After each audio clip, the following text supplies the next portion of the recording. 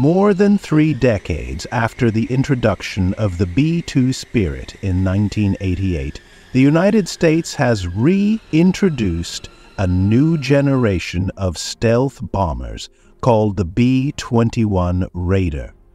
This aircraft is not just a tool of war, but also a reflection of the ambition and innovation of the United States military technology to face increasingly complex challenges in the 21st century. Developed by Northrop Grumman, the B 21 Raider is designed to be the most advanced strategic bomber ever, capable of carrying both nuclear and conventional weapons and can even be operated unmanned.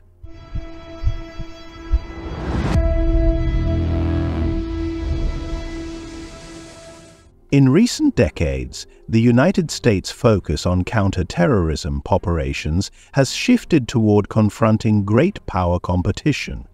The Pentagon has identified the military modernization of China and Russia as its greatest strategic threats. China, for example, is expected to have 1,500 nuclear weapons by 2023 and has made significant advances in technologies such as hypersonic weapons, cyber warfare, and space exploration. This prompted the United States to modernize the three main pillars of its nuclear system, or nuclear triad intercontinental ballistic missiles, nuclear submarines, and strategic bombers. This is where the B 21 Raider plays a crucial role as the air element in the nuclear triad. In addition, the advancement of enemy air defense technology is a new challenge. Modern Raider and anti aircraft systems owned by China and Russia have made previous generation aircraft, such as the B 2 Spirit, face operational limitations. Therefore, the B 21 radar is designed with more advanced stealth capabilities, allowing it to penetrate even the most modern air defense systems.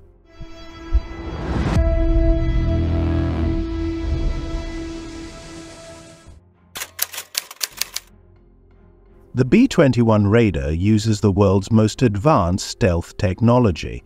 Its flying wing based aerodynamic design, special materials, and heat and acoustic management make the aircraft extremely difficult to detect by enemy radar.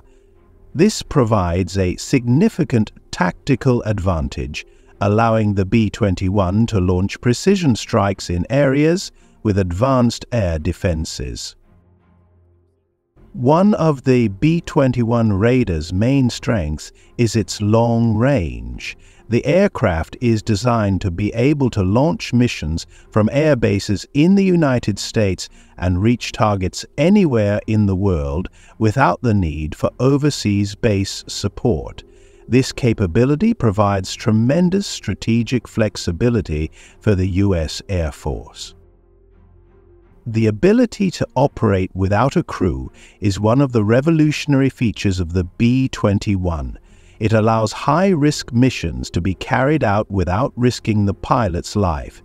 In addition, unmanned operations provide greater tactical flexibility in a variety of scenarios, including intelligence missions and precision strikes. Unlike previous generation aircraft, such as the F 16 or B 2 Spirit, which were developed with closed systems, the B 21 Raider uses an open system. This allows the aircraft to be continuously updated with the latest technology without having to replace existing units. Thus, the B 21 can remain relevant to future threats while saving maintenance and development costs. Instead of installing large capacity computers on board the aircraft, the B 21 is connected to ground computing centers This approach allows for more complex combat scenario simulations and real-time data analysis. As a result, strategic decisions can be made more quickly and accurately based on the field situation.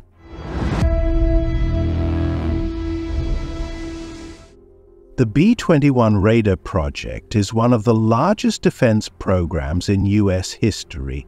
The Pentagon has allocated a budget of $19.1 billion for the development and production of the aircraft until 2027. The price per unit is estimated at $753 million in today's dollars, making it the most expensive bomber ever. Northrop Grumman is leading the development of the aircraft, involving more than 8,000 workers from their company, industry partners, and the U.S. Air Force. About 400 suppliers from 40 countries are contributing to the project, including major companies such as Pratt & Whitney, Collins Aerospace, and BAE Systems the US Air Force plans to buy up to 100 B-21 Raiders in phases. The first prototype is scheduled to undergo flight testing in 2023, with testing taking place at Edwards Air Force Base, California. The U.S. Air Force has designated Ellsworth Air Force Base in South Dakota as the main base for the B-21 Raider, the base has been equipped with a special hangar to support the aircraft's operations. In addition, Whiteman Air Force Base in Missouri and Dyess Air Force Base in Texas are also being prepared as additional bases. The B-21 Raider is designed to be the spearhead of U.S. strategic air power, with its combination of stealth technology, global reach, and unmanned operational capabilities, it is capable of delivering precision strikes against targets anywhere, anytime.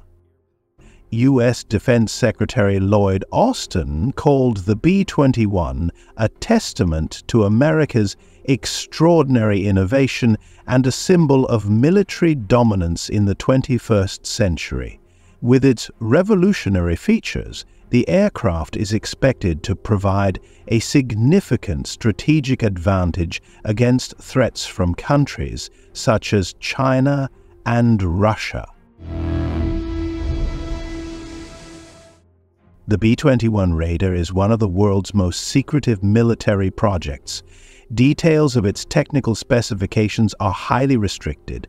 Only a handful of people at Northrop Grumman Aeronautics Systems have full access to the details of the project. Even most U.S. Department of Defense officials only have a rough idea of the aircraft. The move is intended to ensure that U.S. adversaries cannot anticipate the true capabilities of the B-21 Raider. According to Northrop Grumman officials, the high level of secrecy will ensure that the aircraft remains difficult for adversaries to match for decades to come. The B-21 Raider is more than just a bomber. It is a symbol of the United States' technological dominance and military power. With its long-range capabilities, next-generation stealth technology, and tactical flexibility, the B-21 Raider is ready to meet increasingly complex global challenges. This aircraft proves that the United States is not only adapting to new threats, but also continues to lead in military technological innovation. With the B-21 Raider, the U.S. Air Force is ensuring that it is ready for an uncertain future